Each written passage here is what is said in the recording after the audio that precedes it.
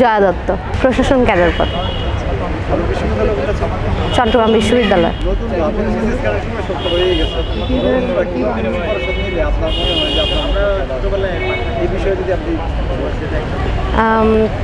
আমার কাছে মনে হয় বিসিএস ক্যাডার হওয়ার জন্য প্রথমত অনেক বেশি পরিশ্রমী হওয়ার একটা অভ্যাস করে তুলতে হবে। নিউজ পেপার পড়া, যারা এখনও একেবারে প্রিলিমিনারি পর্যায়ে আছে তাদের জন্য বলব নিউজ পেপার পড়া, একটু সংবিধান সম্পর্কে জানা, বাংলাদেশ সম্পর্কে জানা, বাংলাদেশের ম্যাপ, বিভিন্ন ধরনের ম্যাপগুলো সম্পর্কে একটু স্টাডি করা।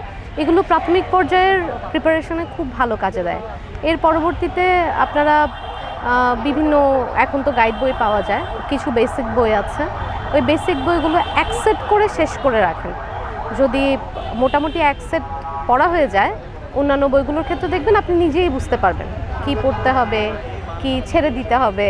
মূলত বিসিএসটা হচ্ছে কি ছেড়ে আসতে হবে সেটার একটা পরীক্ষা আর কি। কতটুকু দেওয়ার চাইতে কতটুকু ছাড়বো এটা বুঝতে হবে।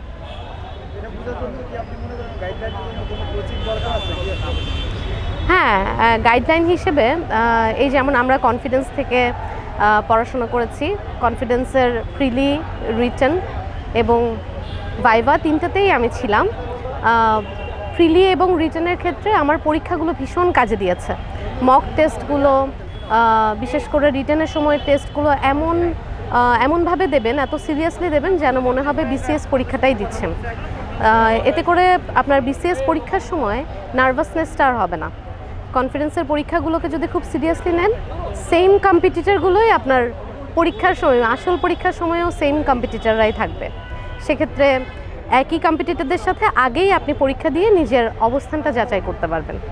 এই কথাটা এর আগেও অনেকে বলেছে আপনি কি করেন যে অনেকে একজন প্রার্থী বলেছিল যে বিসিএস কনফিডেন্সের যে প্রশ্নপত্র আমি পরীক্ষা দিয়েছি বিসিএস এর মেইন পরীক্ষা থেকে আমার ঠিক একই রকম মনে আমার কাছে মনে হয় এটা প্রার্থীর ওপর নির্ভর করে। আপনি যদি পরীক্ষার এনভায়রনমেন্টটা তো একই রকম এবং ডিউরেশনটাও অনেকটা একই রকম ওনাদের প্রশ্নপত্রের স্ট্যান্ডার্ডগুলোও অনেক ভালো।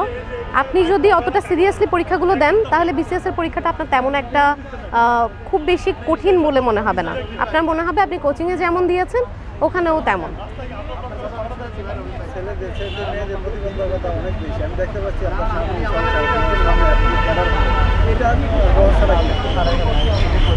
ম্যানেজ করার কোয়ালিটি থাকতে হবে। একজন বিসিএস ক্যাডার শুধু প্রথম দিকেই না, আপনি যখন ক্যাডার সার্ভিসে আসবেন, এর পরবর্তীতেও আপনার ম্যানেজ করার ক্যাপাবিলিটি থাকতে হবে। টাইম ম্যানেজমেন্ট নিজের জীবনটাকে ম্যানেজ করা, এই বিষয়গুলো খুব ইম্পর্ট্যান্ট পড়াশোনার সাথে সাথে পরিবারকেও ম্যানেজ করতে হয়।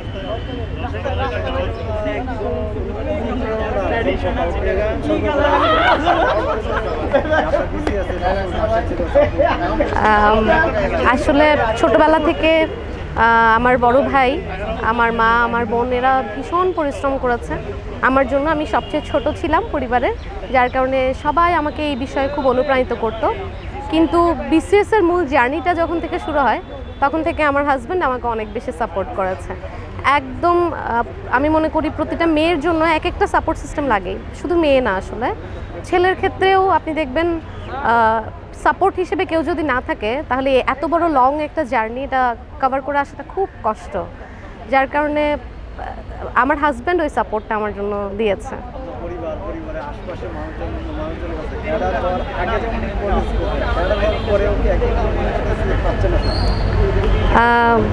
কিছুটা তো আসলে আছে, কিছুটা ব্যাপার তো আছে।